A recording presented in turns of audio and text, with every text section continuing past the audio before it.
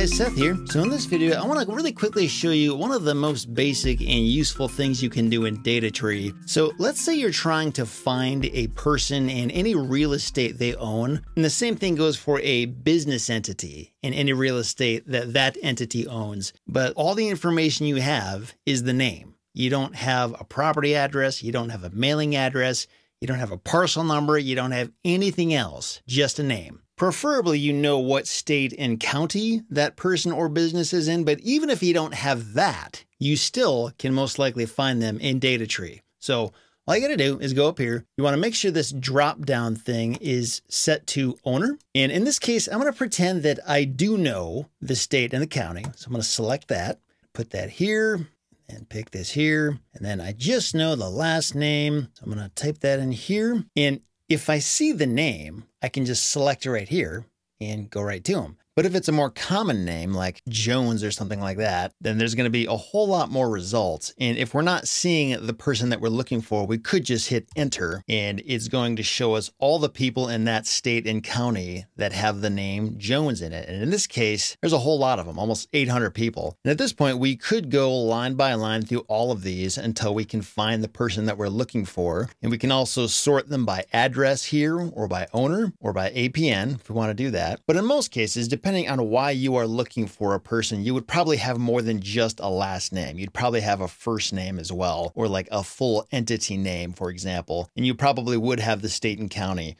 But we can mix this up a little bit and just see what happens. Like, for example, let's try George Jones, but let's take away the county. Let's say we don't know what county they're in, but we know that they're somewhere in California. We can see how many results show up this way. And in this case, it looks like it helped a lot to be able to add that first name in there because even though we're looking at the entire state of California, it narrows it down to 117 results now. And the really cool thing about DataTree, and there's not very many data services, in fact, I don't really know of any other ones that allow you to do this, is that you can search through the entire country at once if you want to. So if you have no idea where this person is and you just have a name, you could do it that way too. So let's say we've done our searching and we've been lucky enough to find the person that we're looking for. I'm going to just pick a property at random here and show you how this looks. So let's pick uh, this person right here. So once we select a property, we can go up here to this property data reports tab. And right beneath here, there's going to be all kinds of different reports we can pull depending on why we're looking for this person and their property in the first place. If we're an appraiser, if we're a real estate investor, if we're a lender, there's all kinds of different reasons why we might be looking